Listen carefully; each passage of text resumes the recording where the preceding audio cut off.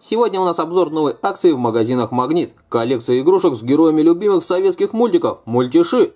Проходит она с 3 ноября 2021 по 1 февраля 2022 года. У меня есть все игрушки. Давайте на них посмотрим.